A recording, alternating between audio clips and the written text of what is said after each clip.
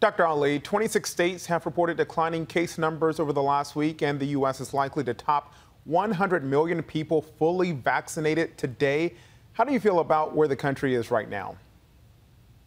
Well, Kenneth, we're seeing some really good numbers. Even hard hit areas like Michigan just two weeks ago had about, you know, 2,000 cases a day. And now the predictions are that by mid May, we can see that drop to 500 a day. So we are making a lot of progress. And these are these numbers are coinciding with the vaccination rate. So as we see more people vaccinated, we're seeing cases diminish. Good news here, but India's surge is being called a catastrophe. The most common variant there detected in other countries, including the U.S. Doctor, what concerns you the most, and what do we know about the vaccine's effect on that variant?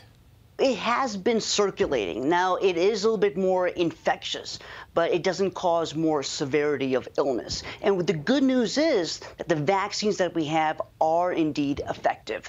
So it's very important that people do get vaccinated and get the two doses as suggested. And doctor, let's talk about that second dose. In Texas alone, more than half a million people are overdue for their second vaccine dose. An expert says nationwide, many people are confused about the need for a second dose. What more needs to be done here?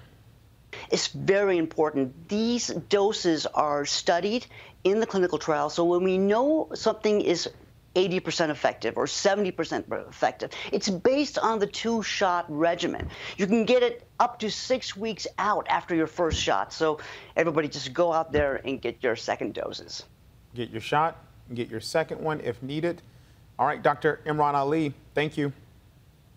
Thank you, Kenneth.